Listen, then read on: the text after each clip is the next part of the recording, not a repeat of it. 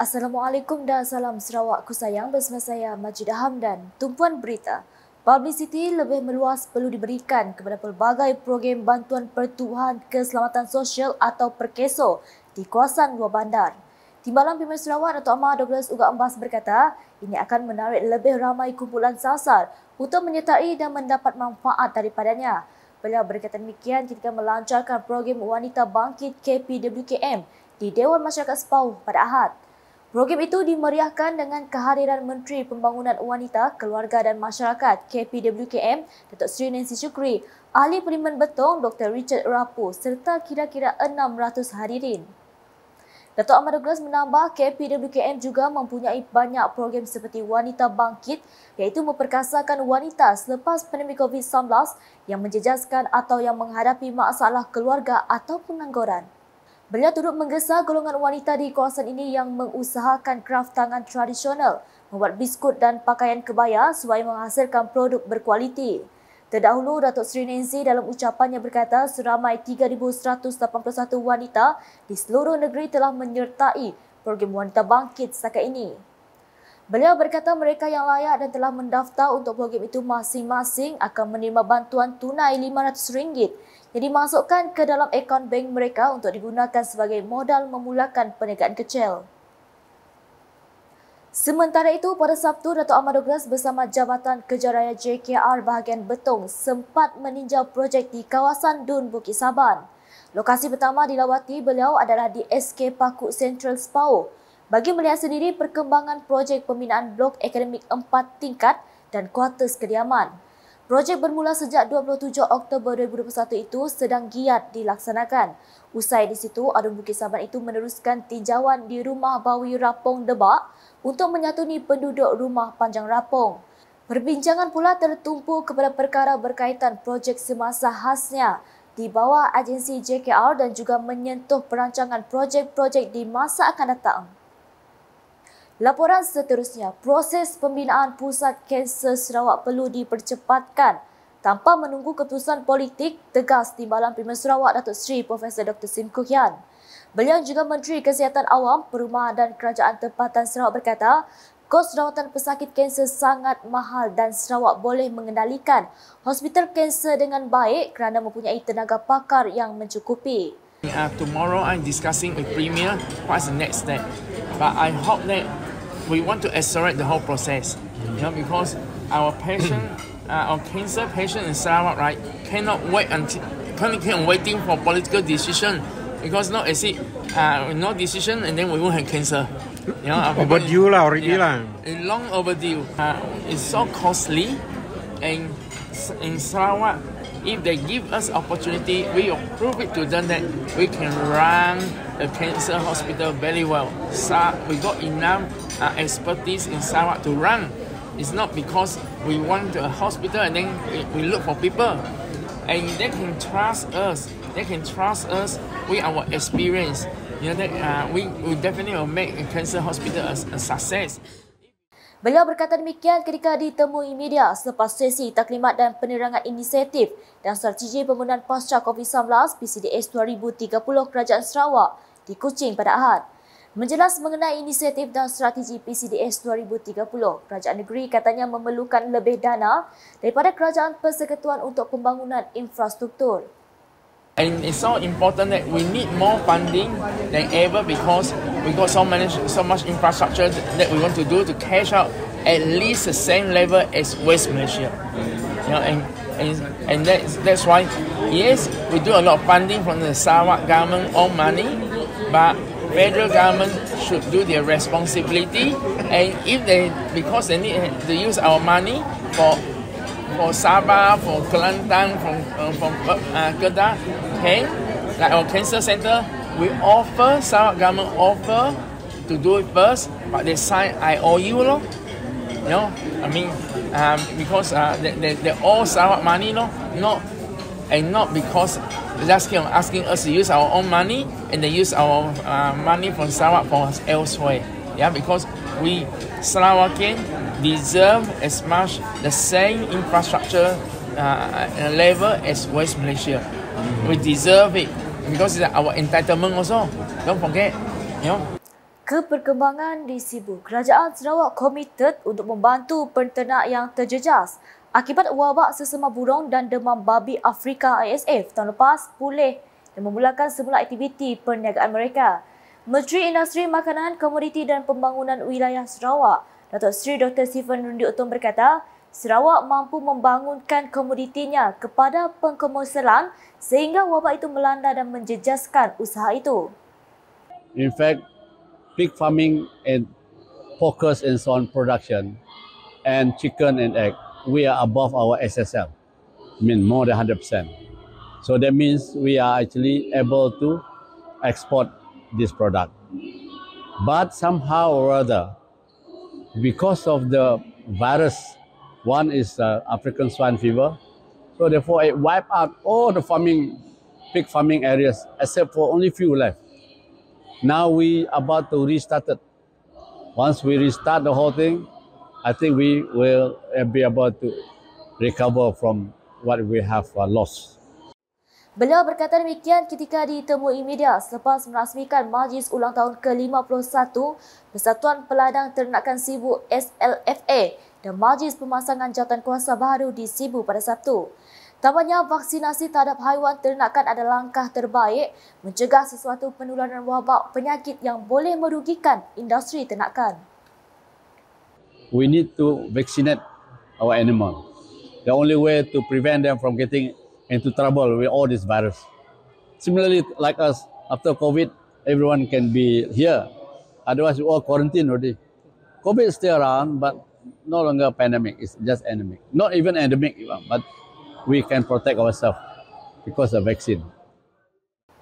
Manakala di Bintulu, seramai 210 penerima dari kawasan Dewan Undangan Negeri Dun Jepak menerima grant projek kecil luar bandar MRP berjumlah keseluruhan 1.6 juta ringgit. Ahli Dewan Undangan Negeri Adun Jepak, Datuk Talib Zulpilip telah menyerahkan grant itu dalam majlis penyampaian grant MRP fasa pertama tahun 2023 pada Jumaat. Para penerima terdiri daripada Jawatan Kuasa Kemajuan dan Keselamatan Kampung JKKK, Kampung dan Rumah Panjang, Persatuan Ibu Bapa dan Guru PIBG serta Persatuan dan Pertubuhan Bukan Kerajaan NGO. Dalam pada itu, Datuk Talib juga berkata suasana majlis tersebut menggambarkan perpaduan yang kukuh di kawasan Jepak. Orang parti, tuan rumah, ketua kaum, persatuan, sehati sejiwa. Ini perpaduan Jepang. Jangan dibiar orang luar memecah belahkan kita. Beralih dengan laporan berikut, konvoi kembara 60 tahun Sarawak Merdeka peringkat daerah Serian menyemarakkan lagi semangat kemerdekaan dan patriotisme rakyat tempatan. Adan Bukit Semuja, John Ilus telah mengetuai konvoi yang bermula dari pusat persidangan Serian ke Kampung Riih Daso, Kampung Tai dan berakhir di Dewan Serbaguna Rancan. Beliau diiringi oleh peserta konvoi dari Kelab Sukan dan Rekreasi Bukit Semuja Bu Serek yang menunggang 60 buah motosikal berkuasa tinggi. Dalam ucapannya, pelancarannya, beliau berkata konvoi ini membolehkan rakyat Sarawak menyaksikan pembangunan negeri ini secara menyeluruh sejak mengecapi kemerdekaan pada 22 Julai 1963. Sementara itu, upacara penyerahan bendera telah disampaikan oleh Timbalan Residen Bahagian Surian Caroline Cleopas Joseph kepada pegawai daerah terbedut Joseph Liao. Manakala pelepasan konvoi telah disempurnakan oleh Caroline, pegawai daerah Serian Lim Hock Meng dan ketua polis daerah Serian di ASP Aswandi Anis. Perkongsian selanjutnya, sambutan ulang tahun ke-60 kemerdekaan Sarawak adalah peluang untuk orang ramai merenung dan menghargai peranan penting yang dimainkan oleh pejuang kemerdekaan dalam membentuk identiti dan masa depan negeri ini. Jasa, usaha dan pengorbanan mereka telah menyumbang kepada pembangunan pesat Sarawak dalam pelbagai bidang seperti ekonomi, pendidikan, infrastruktur dan budaya. Ikuti laporan wartawan kami dalam memaparkan perjalanan perjuangan salah seorang pejuang kemerdekaan mewakili kaum daya orang ulu Datuk Seri Bok Tajang Laing. Saksikan.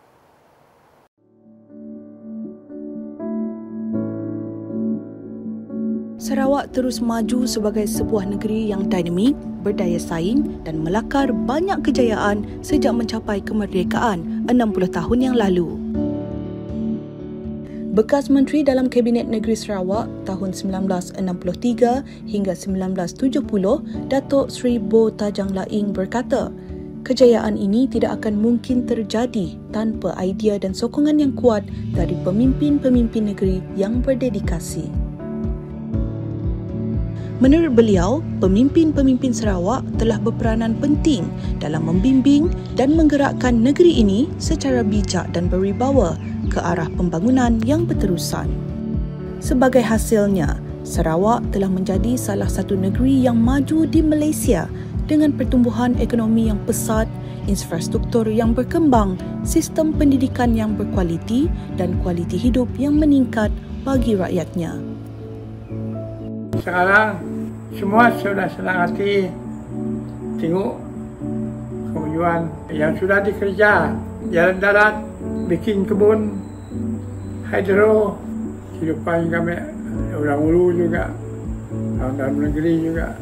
Saya beri ribuan banyak terima kasih kepada Datuk Stephen Kalonikan, uh, Tawi Sri, yang Ketua Menteri, uh, Ketua-Ketua Melayu juga, Ketua-Ketua Dayak juga.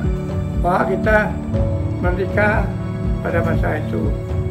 Jikalau tidak, uh, hubungan yang baik dibawakan oleh mereka, tidaklah kita senang sampai hari ini.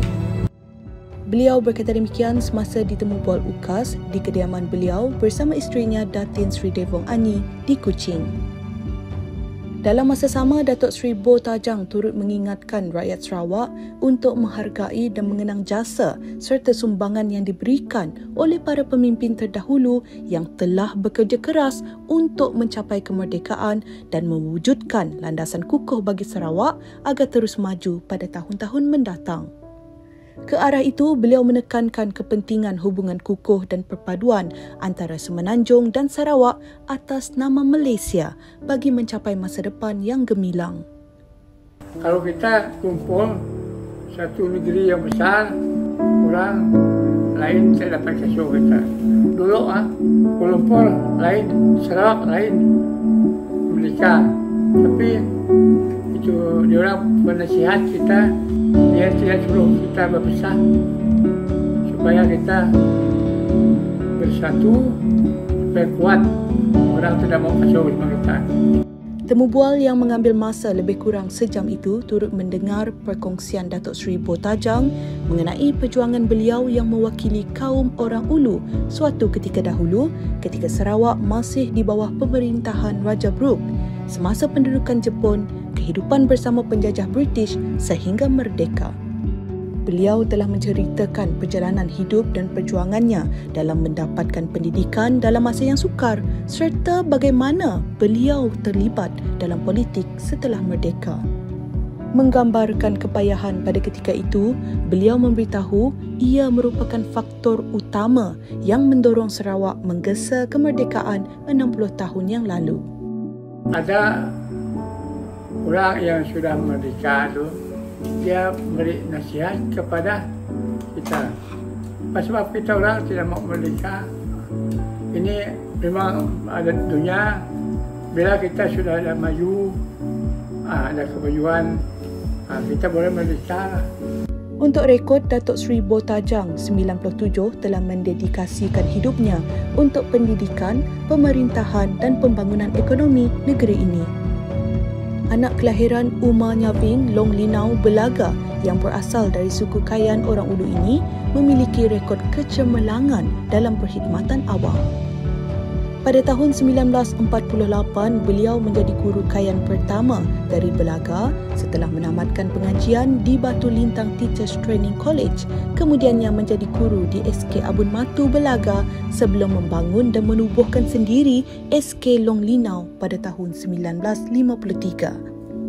Di samping itu, beliau merupakan perintis bagi tanaman kontan pertanian di Belaga seperti getah, koko dan kelapa sawit bagi mempelbagaikan mata pencarian ekonomi sejak beliau menjadi guru di Long Linau sehingga masyarakat berpindah ke Sungai Asap selepas pembinaan hidroelektrik Bakun.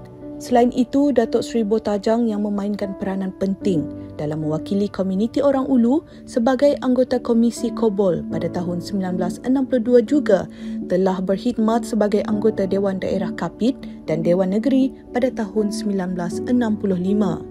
Pada tahun 1963 hingga 1970, Datuk Seri Bo Tajang dilantik sebagai Menteri Negeri Sarawak dan menjawat tugas sebagai Menteri Hal Ehwal Negeri dari tahun 1963 hingga 1966. Juga Menteri Pertanian dan Menteri Kehutanan hingga tahun 1970. Beliau telah berkhidmat sebagai Ahli Dewan Undangan Negeri Adun Belaga pada tahun 1979 dan 1983. Selain pencapaian dan perkhidmatan yang luar biasa, Datuk Seri Botajang Laing juga dianugerahkan gelaran Datuk Seri PNPS dan dihormati sebagai pengasas Pejuang Kemerdekaan PPK pada tahun 2013. Datuk Seri Botajang adalah contoh teladan dari seseorang yang memberikan sumbangan besar kepada pembangunan Sarawak dan komuniti Dayak Orang Ulu. Dengan pengalaman dan dedikasinya, beliau telah menciptakan impak yang positif bagi rakyat Sarawak dan meninggalkan warisan yang tidak ternilai. Sekian edisi tengah hari bersama saya Majidah Hamdan. Berita berlanjut boleh didapati di semua platform media sosial UKAS termasuk putar ukas.sarawak.jvdmy dan UKAS channel di YouTube. Sebelum mengakhiri berita UKAS, saksikan suasana konvoi kepada 60 tahun Sarawak Merdeka peringkat daerah Serian. Hashtag Meba Fakta, salam kas.